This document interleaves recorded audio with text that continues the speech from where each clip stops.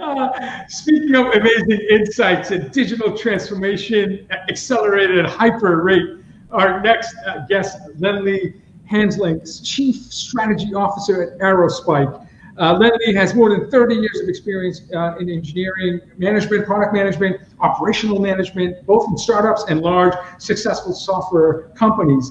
Lenley previously held executive positions at uh, Novell Enterworks, JD Edwards, Enterprise DB, and Oracle. He has extensive experience in delivering value to customers and shareholders in both enterprise applications and infrastructure software. Lenley believes that business is now happening in real time. Absolutely, speed to value is key, and that the right infrastructure for serving data to new real-time applications is rapidly accelerating requirements for businesses in order to be successful. Uh, you can follow Lenley on Twitter at P A R K C I T Y G L I S S E. Welcome, Lenley, to the Disrupt TV. Hey there, Ray, Vala. So, hey, welcome. You know, very interesting listening to Don. You, you, know, I've read several of his books, like we all have, um, and and you know, blockchain's one of those things that um, you know needs massive scale and needs to be faster than it is. Um, although it's delivering a lot of you know value today, uh, I I did peek into some of his uh, thoughts on supply chain, and you know, we went through this massive aggregation and elimination of of any slack in the system, right? And hmm. with the COVID um, crisis, if you will, um, a lot of people are rethinking supply chains to be more diverse and to be uh, more decentralized and to have contingencies. Uh, so I think that that's that's something that um, is going to hinge on uh, you know distributed information um, and when you look at you know digital transformation it's really about opening up our systems i mean I, I, can remember a conversation ray you and i had i don't know you know 10 12 14 years ago maybe but it was about you know the difference between adversarial relationships in a supply chain and supplying yep. all the information transparently between you know consumers and providers and and really trying to optimize and share the benefits of that. And and I think that you know that's at the heart of what we do. It's at the heart of what we do even you know in our relationships with with the bad guys like Amazon right they share tremendous amounts of information to us we share tremendous amounts of information that we don't even know about to them. Um, but but there is an interplay of value exchange there, you know, and and and we've all everybody in technology been on a a hunt for removing friction from transactions. Yeah. You know, and that's that's a lot of what um, happens in digital transformation. So it used to be, you know, you go and you make a payment or you deposit money in your, your bank account and your expectation was you could get to it three days from now. Who would put up with that today? Hmm. No one. And and now you, you you deposit it, you look at your phone and you want to see it reflected instantaneously, right? And then you want to transfer money, you know, from here to Berlin, from here to Buenos Aires, and, and have it show up instantaneously. So so that's that's the kind of interaction, the kind of speed that um, we now have to have. And it's not, you know, it's not going back to your Oracle database and your ERP system and waiting for batch jobs to run. Um, that's no longer okay. So speed speed's so important, right? Right. We're talking about precision decisions, right? One of the things that we talked about yeah. at your event, and and it's we got to make fast decisions. We got to make them quickly. There's another concept that's really behind this, right? It's what we call decision velocity. And in decision velocity, machines are able to make decisions 100 times per second. Humans are able to make a decision per second, and it takes them four weeks to get out of management committee. That is like the worst information asymmetry, decision asymmetry that we get to, right? And so, what's going on, right? How do we get to that point where we're confident enough that those automated decisions are, are worth it? So, so you know, a, a, we have a lot of customers doing that today, and and what they speak about is um, the fidelity of the models and fidelity of the models dependent upon how much information they can consume, right? I, I, like to make the analogy of, of people, right? You know, when we say, here's a smart person, here's a, a person whose judgment I have confidence in, it's because they have both very specific expertise and very specific information, and a lot of it, but they also have a broad contextual uh, set of information and expertise as well. Yep. And to apply both of those simultaneously in milliseconds, right, requires you to be able to access more data into broadly parallelized, you know, computations and Spark or pick your favorite, you know, AI ML framework. Um, and and I think all of us are trying to figure out how do we do that. We have customers who tell us we're adding 10 to 100 new data sources a month into our modeling. Okay, think about that. And all that's streaming in in some by some definition of real time. It's not I get it refreshed on a monthly basis, right? I get it refreshed multiple times a day, multiple times an hour. And so being in the moment you know, is sort of my definition of real time. And that's what we're striving to support at Aerospike, right? That scale, that breadth and throughput. But what's really behind it is is sort of a simple thing. We all, you know, know a smart person, a well-educated person. It's not somebody who knows one thing. It's not somebody who's access only to a part of the information. It's someone who has access to a broad range and can hold that in their head, right? simultaneously pattern match it against the, the broad contextual reference data they have. And that's the game that's being played out now. And we're trying, you know, as fast as we can evolve because because people are really driving this, you know, precision decisioning as, as Ray calls it, right? Very fast now. It's evolving continuously. And, you know, we're trying to evolve with it we had the head of McKinsey research on our show a couple of weeks ago, and uh, uh, one of the key findings uh, of their, uh, you know, in pandemic consumer uh, buying behavior was that 75% of Americans have switched brands during the pandemic, and number number one, two reason was safety and accessibility. So when we talk about supply chain disruption, try buying a fridge or furniture, or maybe early on toilet paper or hand sanitizer, but uh, it was the number was remarkable. Certain countries like India was 91% had switched brand. These are unheard of numbers in terms of uh, you know uh, a shock to brand loyalty. So it's uh, it's part of the trust equation because safety, for example, is now a brand pillar. And to gain trust, you have to demonstrate speed to value. And if you demonstrate speed to value, uh, you know, consistently, you can hopefully earn trust. So what are your thoughts about what we've experienced in the last seven months in terms of the pandemic's role in accelerating the need for precision decision making, execution velocity, co creating value at the speed of need, at the moment of truth, during that customer journey where you recognize buying signals and you provide the right product on the right channel to the right person with the right value proposition. Uh, on the e-commerce side, McKinsey said there was 10 years of adoption accelerated just in the past three months. So there's, there's definitely clear signals that transformation, digital transformation, and rapid decision making is now a boardroom discussion because it's a matter of survival. It's no longer nice to have. Your thoughts?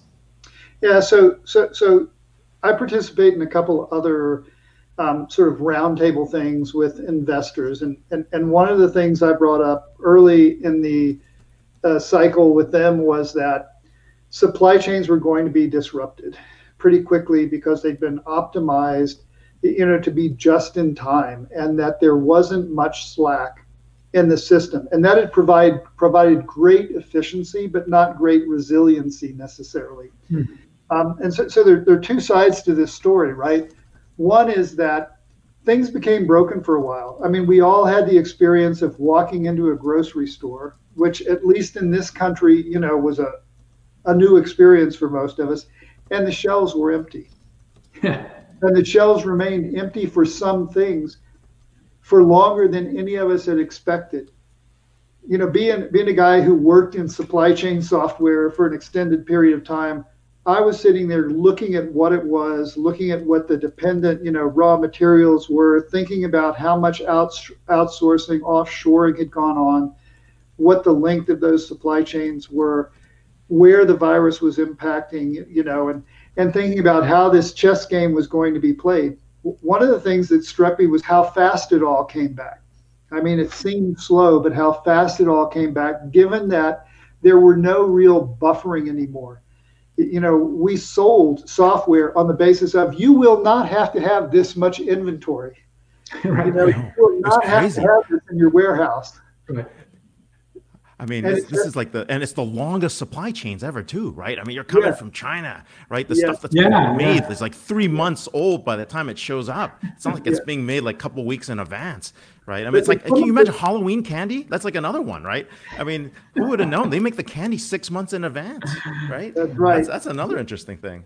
So, so, it's so tough, but but here again, you, you know, the ability to respond faster, right? To to, to see and, and to have a picture of your supply chain. And, and I think Don w- was touching on some interesting things where, you know, the pendulum swings back and forth between, you know, centralization and decentralization. And, and I think mm-hmm. it's going to swing back towards decentralization. Mm-hmm. That makes the problem somewhat more complex. But the more decentralized it is, the more possibility of resiliency comes and then you're starting to have to share information across a network with more points in it yeah. and, and have you know transparency not in a linear supply chain where i've decided this is the guy i can leverage the most against and get the lowest price but that has optionality built into it and now we have the tools with ai and ml and with the ability to process data in real time and like i said we're trying to keep up we're constantly working on the distribution of data, the sharing of data. You know, we just came out with a complete rewrite of our cross data center replication. Why? Because the world is distributed, and we think that there will be more decentralization and more sharing of data. Not only wow, so you sure you sure Don Tapscott's view here on this decentralization that's about to happen. Yeah, absolutely. I mean, I think I, I think it's something that swings back and forth. You, you know, there's probably a golden mean and we don't quite recognize it when we pass it going both ways you know but but i think it's going to swing back towards de- decentralization um, because that's the basis of resiliency. And, and as i said the models become somewhat more complex. Data has to be shared across more points. You know blockchain blockchain in itself mathematically is kind of fascinating but what's really fascinating are, are the implications in terms of contracts the speed at which contracts can be put in place and become transparent and enforceable, right? Um, and I think that that's just more data, more real time data that has to feed into things like the ability to say, I'm supporting, you know, 200 contracts where I had five yeah. before because I want optionality. I would like to have toilet paper come from, you know, Finland as well as Vancouver why? Well, you know, if you distribute the risk, we all know this technically. Like, does anybody have one data center that's a hmm. cloud vendor? Does anybody have one zone? No. Would it be more efficient to have it all together, one thing? Yeah. Sure. But we distribute the possibility of failure. We know that technically, and I think that's going to ripple through supply chains. I think it's going to ripple through organizational models um, it, you know, the people who had distributed workforces yeah. were better off. Hey, these guys got sick, but we shifted the work. Oh, wait, these guys are well now. you, you, know. Yeah. So hey, I'm, I'm going to give you four use cases, and you tell me what's going to change, right? So let's. I'll, I'll give them ahead of time: fraud prevention, customer experience, payment processing, and recommendation engines. So what changes with fraud prevention? You know, fraud detections changing sort of radically because it used to be we were trying to find and identify the bad guy, right? And now we're trying to understand the customer more deeply and be able to, to, to recognize that behavior and that person and to know more than just one track of behavior about them, right? And so that's meant capturing more data over a longer period of time and keeping that and having a more sophisticated model of who Ray is. I mean, you know, Ray, how often are you in the same place? I'm not. That's the thing. But now I'm no. home for a year now. If I go out traveling to like 40 different cities in like five weeks, you know, it's going to be fraud every transaction. I'm right. a little worried. you know, this is the contextual information that has to be there. And so I think the models have become much richer. I mean, you know, we have new expectations about it. We, we like it when it says, you know, you bought these three things and you're, you know, in Moscow. You know, this happened to me once on a credit card and then they, and you go like, "Is this you?" And you go, "Yes." You know, done. Isn't that great? As opposed to, "Gee, you know, you travel a lot, so I'm going to treat you this way." If it was somebody else who never leaves the U.S., they treat it differently. They think that's fraud. They wouldn't just can you can you confirm this in a nice way, right? So I think that's fraud. Just richer models with more data held over longer period of times to create a truer picture of you. yeah, I know I had that happen to me. I was in Dubai, London, and New York all in like one day, and someone thought it was massive fraud. yeah, yeah. for, yeah, for a three dollar bottle of water. I mean, come on. it's uh, you know a big takeaway talking to you, Lenley, is uh, this notion of uh, balance between efficiency versus resiliency. Uh, yes. Not even you know not verse, but really just a balance between the two and and when I when you're talking about resiliency, you know, in so many words, it's it's it's a decentralized framework. It's diversity of suppliers. It's modularity of design for easy substitution. It's uh, sharing insights uh, at optimal speed, sharing insights across the ecosystem.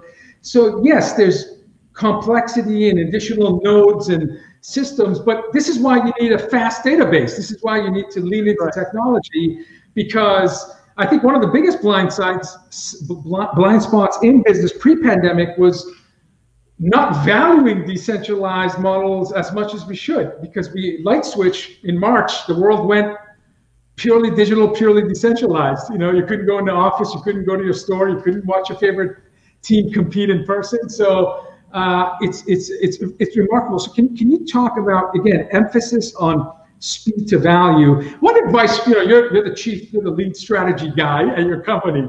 When you're sitting in front of a CEO and the CEO says, Lenley, help me maintain relevance for my brand and my company, what's, what's the advice you give them? Yeah, I, I think the biggest thing is to to know your customer, right? And, yeah. and the expectation of understanding, you know, several things the context in which they're operating, you know, to be aware of the world, right? The, the, the whole reference model that that customer is operating in, to know specifically what you can do for them, mm-hmm. and, and to try and try and engage with them to map your value into their goals, right? Um, and I think that what, what's happening right now is that, as we talked about, the, the move to become digital has been accelerated. Yeah. But I think that the, the understanding of what the implications of going digital are is sort of unevenly distributed. You know, the mm-hmm. people who started and have been prosecuting this for as much as 10 years for some people, you know, five years for other. It is that if you're getting into it now seriously and you've been dabbling in it, what happens is you've opened up your systems, just open them up to instead of a thousand, two thousand, five thousand users, you're talking about 20 million, 30 million people coming at you and you know wanting access to the status of their orders to hmm. understanding you know where their order is and you're opening up your internal systems to all of them and that means data shift. volumes that means yeah. massive read volumes i mean we all come I always like to say your customers come armed. They come armed. you know, sometimes they're two, sometimes they're two fisted too. yeah, it is. yeah, and, and they're going going continually saying, "What what happened to my order?" It, you know, not because it's late, but just yeah. where where is it? And they can do that, and they expect wow. truth in that. Yeah. So there's a cost. Thank you so much. There's a, for... there's a cost to radical transparency but if you execute well, the, the, the value is you earn their trust and hopefully brand loyalty. Yeah, it, it is. It is a trust relationship thing. Hey, Ray, great. No, no, we're here with Lenley Hensarling, Chief Strategy Officer at Aerospike. You can follow him at Twitter at Park City Gliss, G L I S S E. I'm going to have to ask you why you chose that Twitter handle another time. So yeah. thanks so much for being on the show. thanks for being here and uh, sharing your Friday with us. Thanks, so, Thank you very much. This is Brilliant. awesome. We Brilliant. are here.